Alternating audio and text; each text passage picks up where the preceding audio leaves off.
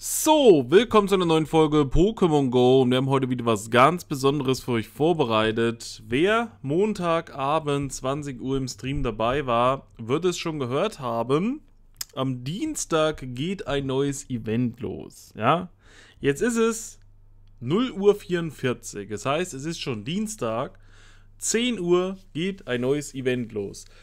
Das ist aber nicht das Go-Fest, denn das Go-Fest ist ja am 17. und 18. Juli. Das ist noch ein kleines Stück, denn das ist die Vorbereitung auf das Go-Fest. Denn wir haben nicht nur 25 Jahre Pokémon, den Franchise, sondern auch 5 Jahre Pokémon Go. Ich habe das in dem Juli Event-Kalender schon alles angekündigt gehabt, gesagt gehabt, die Spotlight-Stunden, den Feldforschungsdurchbruch, die Raid-Bosse und auch das am Dienstag dem 6.7. ein Jubiläumsevent losgeht. Bis jetzt war aber noch nichts bekannt über das Jubiläumsevent.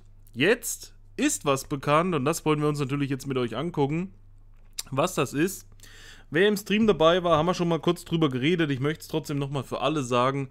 Und ist ein bisschen doof, denn wir haben ja jetzt da gehangen. Den ganzen Tag hatte ich darauf gewartet, dass da was kommt, weil es am nächsten Tag losgeht. Jetzt wurde das abends angekündigt. Viele sehen das jetzt auch nicht mehr. Und wenn sie morgen dann das mitkriegen, ist das Event schon im vollen Gange. Aber Event zum fünften Jubiläum von Pokémon Go. Es gibt auf jeden Fall krasse Sachen, die ihr euch nicht entgehen lassen solltet. Dienstag, 6. Juli, 10 Uhr bis Donnerstag, 15. Juli, 20 Uhr.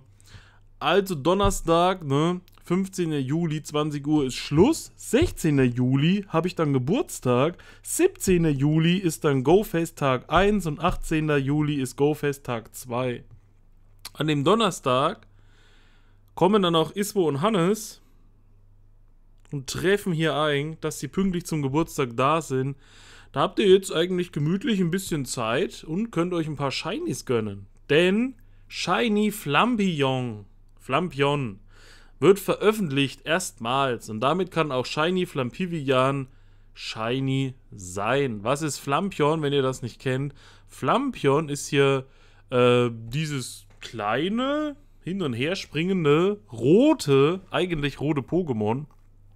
Was vom Typ Feuer ist, eigentlich ein richtig guter Feuerangreifer. Ihr seht, Flampivian sieht auf jeden Fall richtig genial aus, sieht mächtig aus. Äh, Sabrina spielt hat damals aus einem Ei von mir einen 98er bekommen, was auf jeden Fall krass ist. Wenn ihr so einen zappt und einen 100er bekommt, entwickelt das, zieht das hoch, gönnt euch XL-Bonbons, farmt, was das Zeug hält.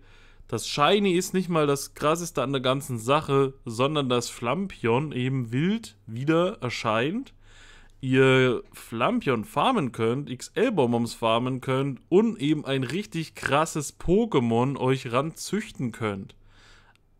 Shinies nimmt man nebenbei halt mit, wenn man sie bekommt. Ne? Shiny Flampion ist für mich auf jeden Fall schon mal ein heftiges Highlight jetzt zum fünften Jubiläum. Ein besonderes Pikachu-Kostüm mit einer 5 als Ballon wird veröffentlicht. Ähm, wer die Vergangenheit verfolgt hat, da gab es ja schon mal ein fliegendes Pikachu mit Luftballons dran, was auch als Shiny da war.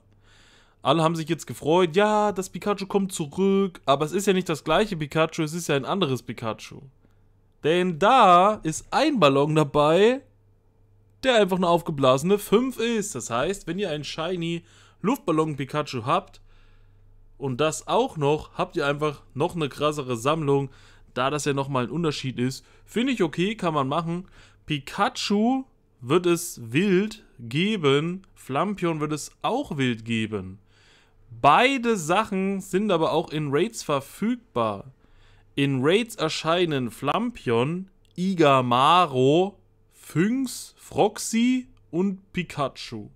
Also ihr habt die zwei Shinies plus die drei Starter in einer Raids Deswegen bin ich schon überlegen, weil am Dienstag jetzt ist ja auch die Spotlight-Stunde mit Bisa Sam.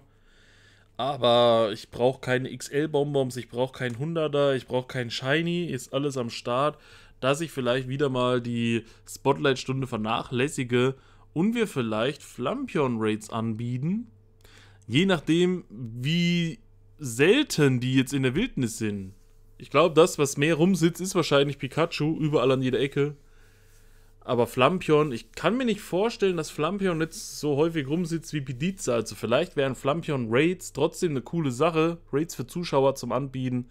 Äh, für die Leute, die das Shiny haben wollen oder ein gutes aus einem Raid ziehen mit guten IV oder Bonbons farmen.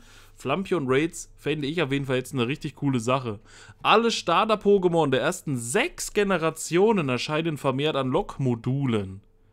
Die Starter der Generation 1, 3 und 5 auch vermehrt wild. Also Lok-Module lohnen sich auch wieder, weil ihr da die kompletten Starter-Pokémon von Generation 1, 2, 3, 4, 5 und 6 bekommen könnt. Generell aber von 1, 3 und 5 auch vermehrt in der Wildnis. Wir haben noch eine Infografik hier drüben, können wir uns dann nochmal angucken. Es gibt eine Sammlerherausforderung, für deren Abschluss man dem Kostüm Pikachu begegnet, fünf Sonderbonbons erhält sowie eine gewaltige Menge Pogebälle. Feuerwerk wird als Ingame-Effekt aktiviert. Ein Blick in den Himmel lohnt sich doppelt, da die Spielmechanik für realistischeren Himmel und zusätzliche Pokédex-Klassifikation für alle Spieler freigeschaltet werden. Also, die haben ja schon gesagt, dass das der Himmel im Spiel soll dann realistischer aussehen, das soll alles einfach viel cooler wirken. Äh, diese Pokédex-Klassifikation soll mit reinkommen, dass ihr mehr Möglichkeiten habt, den Pokédex zu unterteilen, nach verschiedenen Pokédexen zu sortieren, zu unterscheiden. Ihr habt dann direkt auch einen Shiny-Dex, wo ihr alle Shinies einfach nur seht im Dex, was habt ihr, wie oft habt ihr und so weiter. Ist auf jeden Fall okay, um da nochmal Ordnung reinzubringen oder das übersichtlicher zu, äh, zu gestalten. Für das Öffnen einer Wunderbox kann man wieder Shiny Meltan begegnen. Hier ist kein Bild davon, aber das ist auf jeden Fall auch ein Highlight für viele von euch. Manche haben noch nicht mal ein Meltan. Manche müssen noch die Spezialforschung von Meltan abschließen, um ein Meltan zu bekommen. Wer schlau ist, guckt mal in den Link in der Beschreibung unten. Da habe ich euch nämlich verlinkt immer, wie man eine Meltan-Box bekommt mit Pokémon Home. Völlig kostenfrei für jeden. Denn sonst musste man sich eine Meltan-Box rübertauschen, wenn man eine Switch hat und Let's Go Evoli, Let's Go Pikachu. Einige haben das dann genutzt für bestimmte Events, wo es schon mal Shiny Meltan gab, um so eine Box abzufarmen. Mittlerweile kann sich jeder kostenlos eine Meltan-Box gönnen, ohne dass man eine Switch hat, eben über die App Pokémon Home. Wie das geht, seht ihr in der Beschreibung, ist unten verlinkt. Und Meltan gab es jetzt zweimal schon als Shiny. Das ist das dritte Mal, dass man die Möglichkeit jetzt hat, Shiny Meltan zu bekommen. Hat bestimmt noch nicht jeder. Habt ihr schon einen Shiny Meltan? Schreibt es mal in die Kommentare. Wenn nicht, schreibt mal rein, ob ihr noch eins braucht. Ja, so war das, genau. Dann die Forschung zum Durchstarten wird für alle Spieler erhältlich sein, die sie nicht schon letztes Jahr erhalten haben. Da gab es ja auch eine Forschung zum Durchstarten, um die Leute eben zu katapultieren von ich bin hier unten, ah, ich will hier hoch, zack, schon bin ich oben, ne? Da gab es auch für den Abschluss bei einem Kapitel 100.000 Erfahrungspunkte mit Glücksei, also gleich 200.000 Erfahrungspunkte. Das wird für einige ein paar Level-Ups bedeuten. Da gab es auch richtig heftige Belohnung immer. Wer die natürlich schon mal hatte, wer die gemacht hat, kriegt die nicht nochmal. Und wer jetzt heute erst anfängt zu spielen, wird auch diese Forschung bekommen, um durchzustarten. Es gibt besondere Sticker in Geschenken, an Stops und im Shop. Ist für mich komplett uninteressant. Der Itembeutel wird auf 3500 erhöht. Bisher habe ich immer, wenn's, wenn was erhöht werden konnte, direkt erhöht, aber Julchen hat auch schon gesagt, wer das macht, ne? Sie wird es wahrscheinlich so lassen, andere sind selbst mit 500 Plätzen gut bedient. Ich werde erstmal abwarten, ich werde es erstmal doch wohl nicht erhöhen. Die Coins, das sind ja glaube ich 20 Euro, die ihr da ausgeben müsstet, um das zu erhöhen, immer um 500 Plätze. Ich werde jetzt auf jeden Fall erstmal das Go-Fest abwarten. Das wird nämlich mega teuer, was man da alles raiden muss. Haben wir heute Girafarik-Video noch geguckt, diese ganzen kostümierten Sachen dann in den Raids hin und her. Aber das ist wieder ein ganz anderes Thema. Es gibt neue Itemboxen im Shop, guckt die euch an.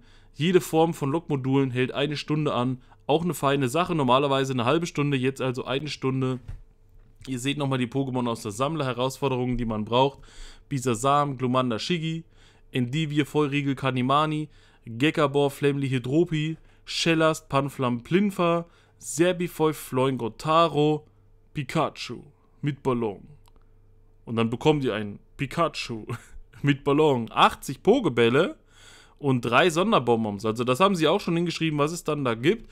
Ist natürlich auch schön für die Medaille, eine weitere Sammlerherausforderung. Ansonsten habt ihr Pikachu als Shiny, hoffe ich. Flampion, Flampivian als Shiny. Wenn ihr hier nochmal drauf guckt, seht ihr Appearing in the Wild. Also, das war ja vorhin noch unklar, weil dann nur was stand mit Pikachu, Flam, Flampivian, Flampion meine ich dass sie in einer Raids erscheinen, zusammen mit den anderen Startern, aber ihr seht hier in der Wildnis wird es also trotzdem Pikachu, Flampion, Shiggy, Glumanda, Bisasam, Hydropi, Flemly, Gegabor, Floing, Serbifoy, Otaro geben. Also eben 1, 3 und 5, so wie es auch in dem Infotext stand. Hier seht ihr nochmal die Raids, auch Flampion und äh, Pikachu zusammen mit Fünx, Igamaro und Froxy. Die Sammlerherausforderung steht hier dabei. Hier seht ihr alles, was aus den Log-Modulen kommen können. Da sind halt wirklich alle Starter dabei. Von 1 bis Generation 6. Shiny Meltan ist am Start. Besondere Sticker, eine besondere Box. Man kann den äh, Beutel, den Item-Beutel erhöhen. Ähm, ihr habt diese, das Wetter, den Himmel, was realistischer aussieht. Finde ich auf jeden Fall eine feine Sache. Ich freue mich ganz besonders natürlich auf Flampion, weil Pikachu, ja, nimmt man mit als Shiny, aber ansonsten machst du damit eigentlich nichts. Das ist einfach ein, ein Shiny, ein Tüten fertig. Flampion brauchst du schon zwei für die Familie und wie gesagt, Flampion einfach ein mega krasses Pokémon. Worauf freut ihr euch besonders? Habt ihr Bock? 10 Uhr geht das Ganze los. Mal gucken, wann ihr das Video dazu seht. Dann werdet ihr eh schon wissen, dass das alles am Start ist. Das war es jetzt eigentlich von äh, meiner Seite aus. Wir sehen uns beim nächsten Mal. Äh, bis dahin, Peace out, Vorhaut. Euer Ramses und schreibt mal raus, was werdet ihr jagen? Habt ihr es auf bestimmte Starter abgesehen oder sonst was? Viele wollen da XL-Bonbons von bestimmten Pokémon noch haben. Aber das sehen wir dann morgen. Könnt ihr morgen ein bisschen labern. Ich denke mal, wir werden Flampion Raids anbieten. Ja, so machen wir das. Peace out.